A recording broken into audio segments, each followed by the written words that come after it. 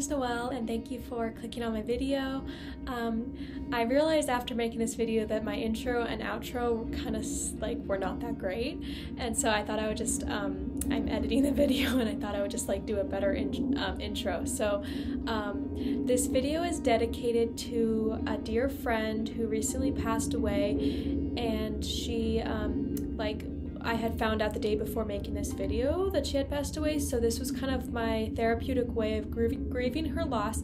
She was someone who um, was a little bit of like a mentor with um, she helped me helped me with my very first art market and she was a framer and so she um, invited me into her framing studio and we did sort of um, um, a trade. So I gave her some artwork and then she let me use her mat boards and she taught me a lot about framing.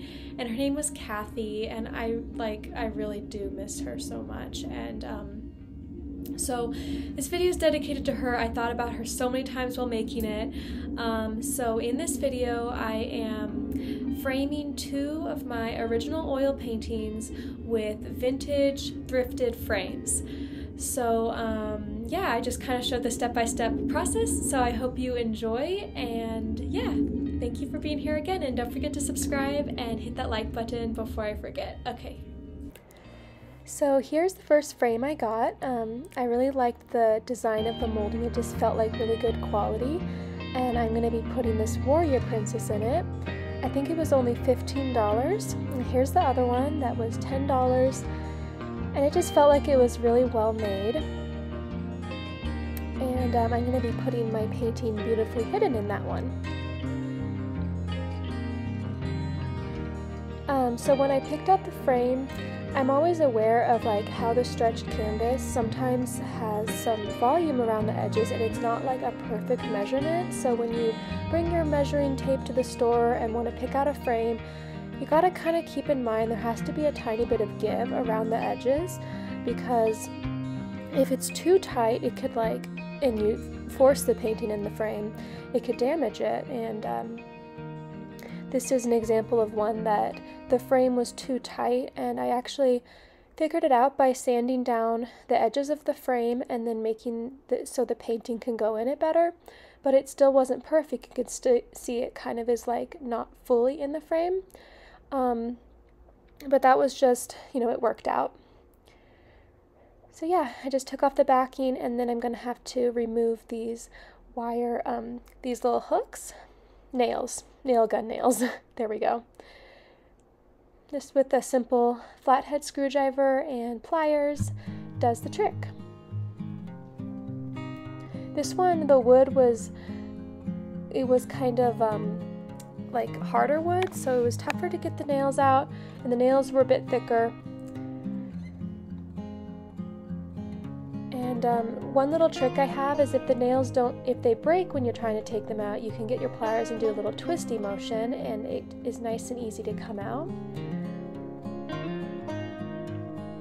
Here's the other one. I noticed that it was done by most likely a professional framer because he put his little sticker on it. Um, it's always nice to get some high quality frames, so that's a little indicator that could mean it's like a nice quality frame. And um, they, you know, if they're going to put their name on it, there's a level of pride in, in their work.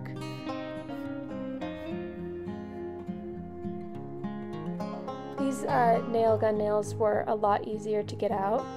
Um, I did have one flick up um, onto my desk, thankfully, but you gotta keep track of them and maybe wear eyeglasses or, you know, protective gloves. Just use your precautions. I was just kind of being a little bit on the risky side today, and um, so before um, throwing away the innards of the frame, I want to make sure it's not an original painting. So I want to, you know, I double check that it's not an original. You can kind of tell if there's any sort of texture, like you can tell the human touch over a printer.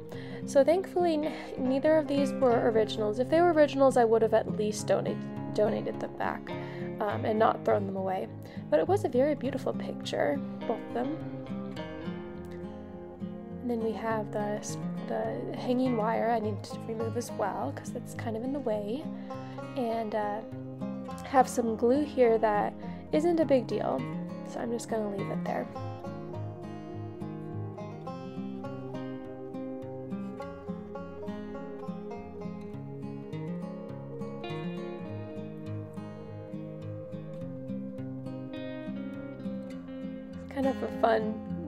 Get off all these little nails.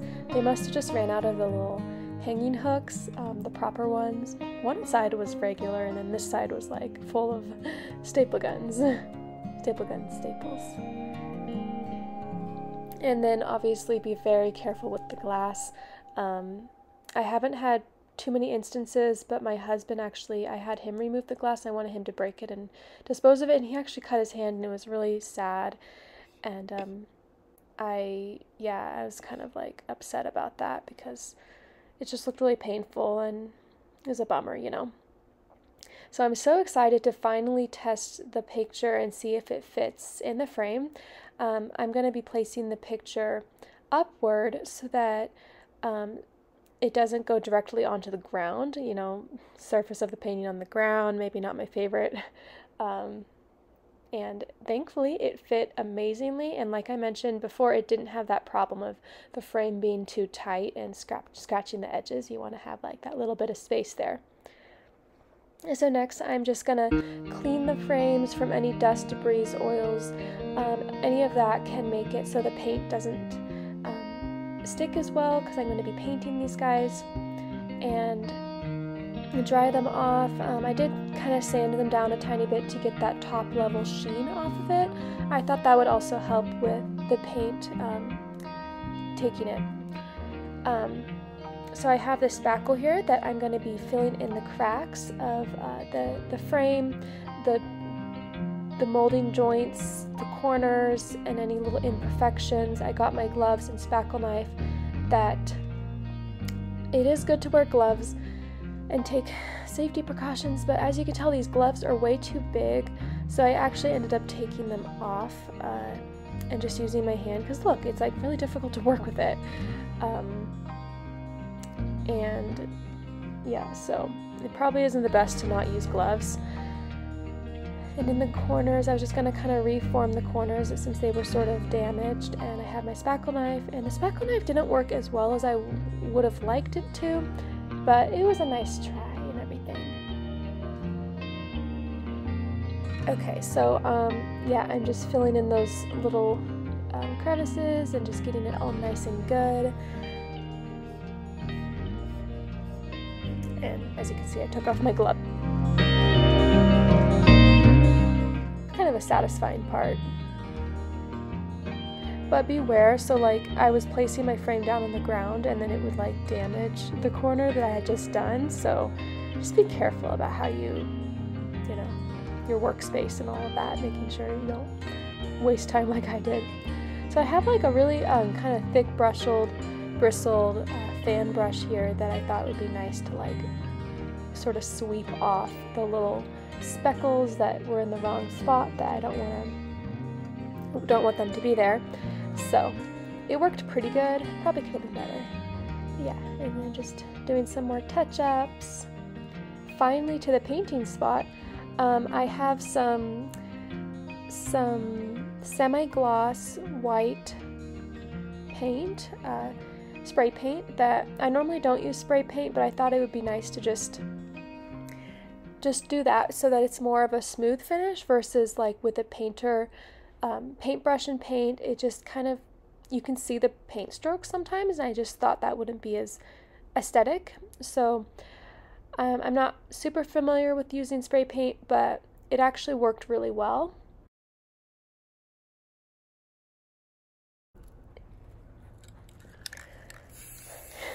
this part, you can see like a little speckle I just spray painted over. I must not have noticed it. Um, hopefully I went back and like got rid of that little speckle.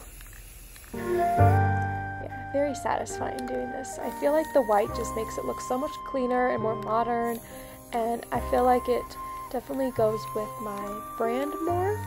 And these other frames, there was nothing like wrong with them. I mean, I mean they're beautiful and stuff, but I just think that to have my art shine, like I want it to just be have like simple frame, nothing distracting, and a lot of my work has white in it. So I thought white would be a good universal color all around the board for my work. So here I have the paintings and I actually haven't put my name on the back so I'm actually going to go ahead and write my name and then title of the painting on the back. I have this fine tip Sharpie marker, which I think it was getting a little bit low on ink, so it was kind of difficult to write. You'll find that like writing the names on canvas is not the most fun. Overall, I'm not into calligraphy or writing on my artwork or anything. Like I'm not a big writer. Hmm, my hand, my penmanship could be better, but I had to get that done because it's always want to have your work on your uh, your name on your art because you'll want to know later like when you made a piece and I've had that so many times where I didn't do it and so definitely do that. So yeah, um, I just wanted to let these dry for a good 24 hours or more. These are my little kitties that live on, well, they're not mine, but they actually think they live on my patio. They're super cute if anyone wants to adopt them. But yeah, I was gonna let these sit. I did bring them in the house after like an hour or two. Laid them out on the in a floor in the room in a room to let them dry fully. So, you know, over the night, nothing like got stuck on them or something outside. Yeah, I just love how it came out. I did a couple layers.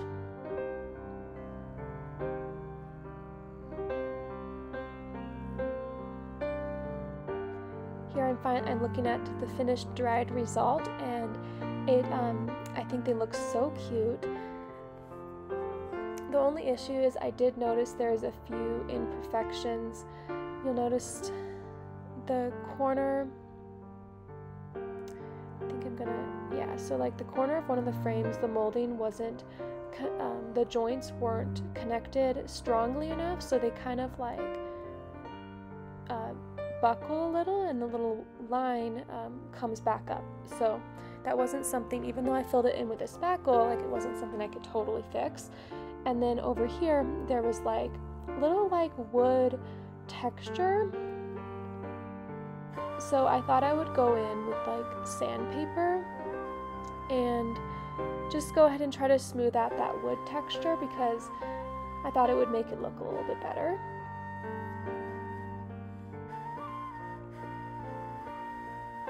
So I have this white paint, um, and also part of the paint didn't fully cover so like especially around the edges I just I had this white paint and I wanted to double I wanted to double check that it actually it might match instead of like having to go out and spray paint them again just kind of looking at the final results results I'm a little bit of a little bit of a perfectionist so yeah and here I have a super fine grain sandpaper it was used before but it's not a big deal because it still has some life in it It's kind of holding it like a rounded, rounded direction. Um, I'm going to get down, get off some of that wood grain uh, stuff that was there. Um, and instead of like fully like having any sharp edges on the sandpaper, it's good to kind of have it rounded so that it didn't, you know, have more sanding off in certain parts where the sharp edges were of the paper, if that makes sense. And also I didn't want to sand too much, so I had a really fine grain so that it didn't like actually take off the paint or take too much of it. Just kind of trying to work out these corners again. I'm trying a different kind of spackle to fill in those corners again to see if I'm able to um, redeem that a little bit.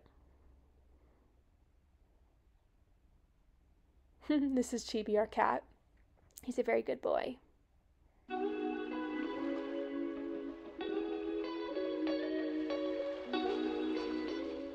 So I think I'm just going to let that dry uh, before covering it, um, trying to repaint it with that paint. I'm also to test out the paint color to make sure it's a decent match. So here, here I have that just a regular acrylic white paint that I use in my studio and I wanted to just do a color match on sort of a discreet side. You'll notice this is one of the parts that didn't fully spray paint color on it. So I'm just, and you can notice it looks a little bit brighter. Well, paint actually dries darker. So I'll need to let that dry to, to see if it actually matches.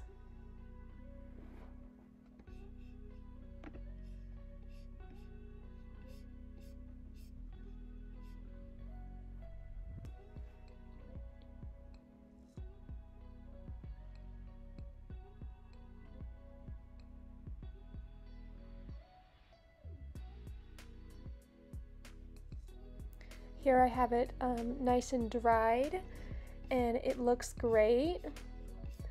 Really excited that it actually matched and then I went ahead and did the corners as well and now they're looking very spiffy. It looks like I put the mat board picture back in the frame but actually I did not. That just, just I placed it there.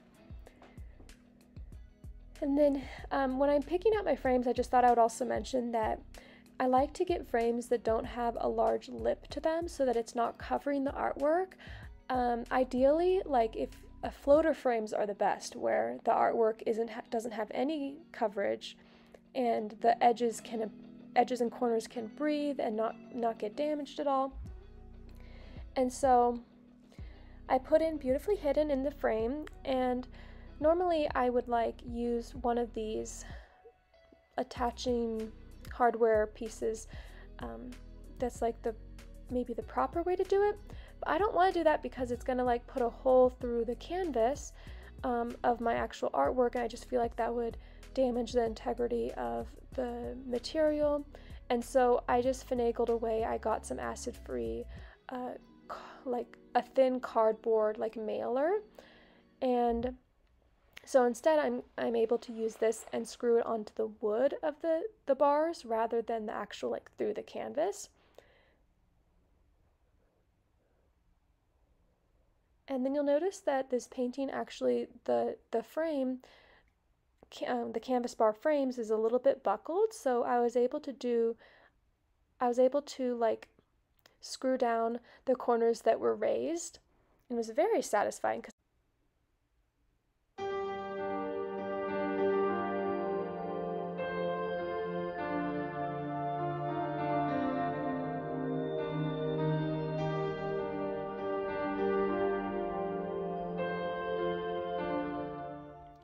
finally have it in it. It looks so beautiful and I'm really happy with how it all came together for this piece.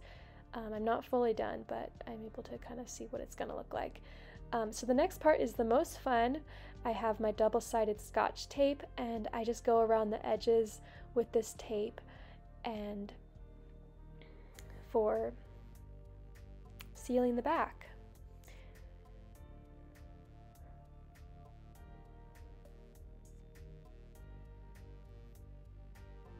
I've tried different um, kinds of like sealer um, tape stuff, uh, and this is the best one I found so far. People can use glue. There's like this little roller that you can use to tack down the paper.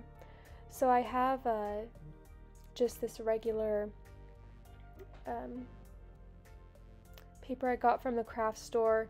It's kind of thin and acid free, and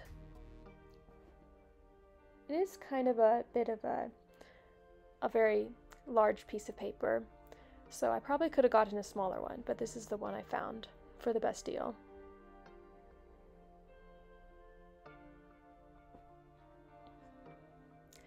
I like to tack down first the corners.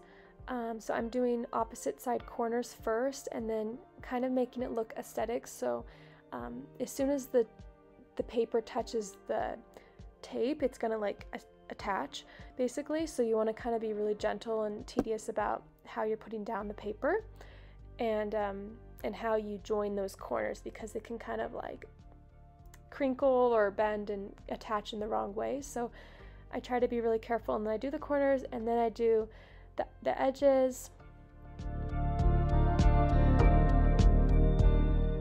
And I cut this paper around the edges and it's gonna look finally getting to the absolute funnest. I know that's not really a word, but it's the most fun part.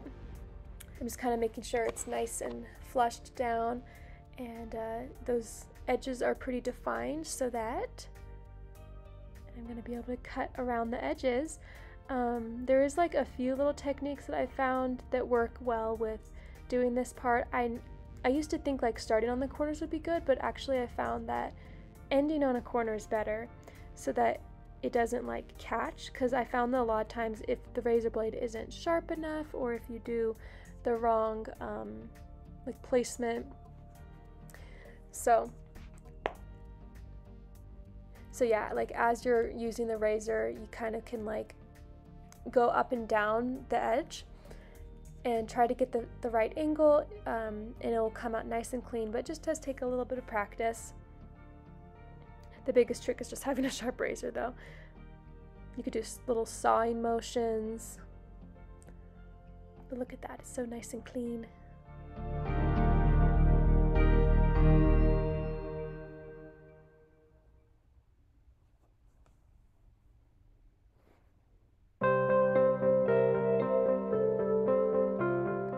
And voila.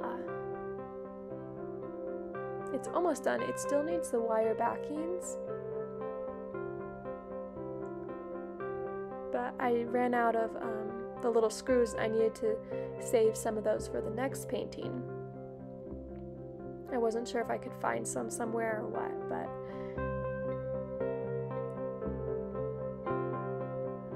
yeah, I love how it came out.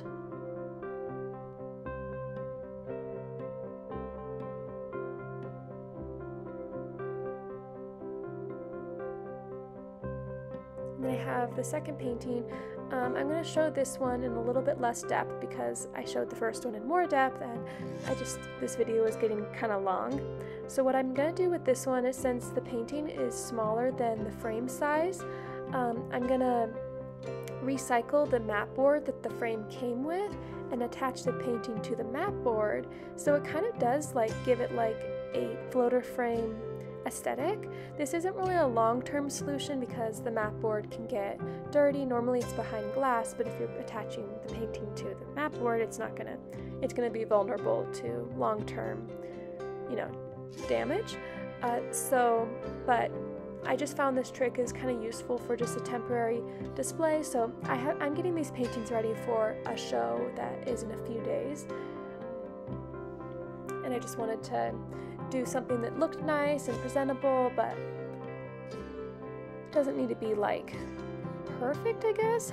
But yeah, measuring and putting this painting in centering it was actually quite a difficult task.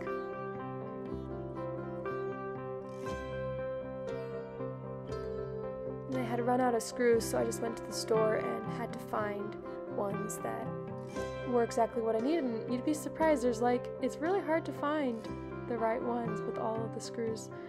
Um, I'm sure I'll get more familiar the more I go there, but Home Depot's great. I love shopping there. It was only like $1.50 for a pack of 16, which I think will last me a little while. Thank you, Home Depot.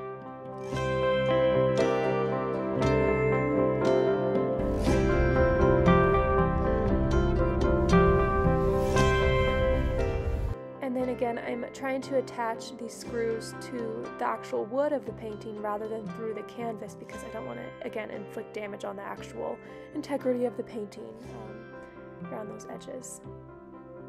Then moment of truth here. Isn't that satisfying? Look, it's like nice and perfectly flush to the, so I'm able to just easily tape it. And again, you know, tape it does the it does the trick, so it should be fine. And then doing this part.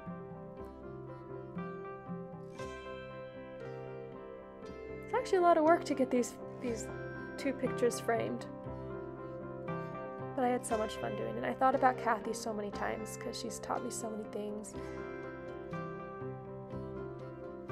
about framing and stuff. I like using the wire that has the plastic on it rather than just like the wire without plastic um, because it's just way easier to work with and it is not as pokey. The one with just the wire is like awful to twist and poke yourself, so it's more just nicer, nicer quality.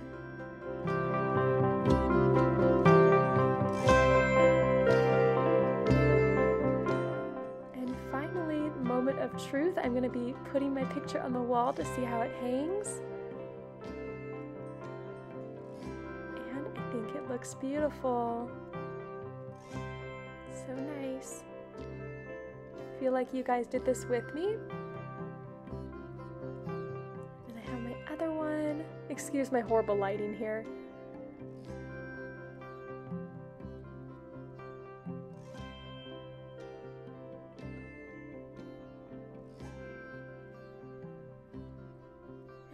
Looks lovely. Look at that. This has been so delightful. I love how it came out, and I feel like like you guys have done this with me, and it's been really nice to have you join me.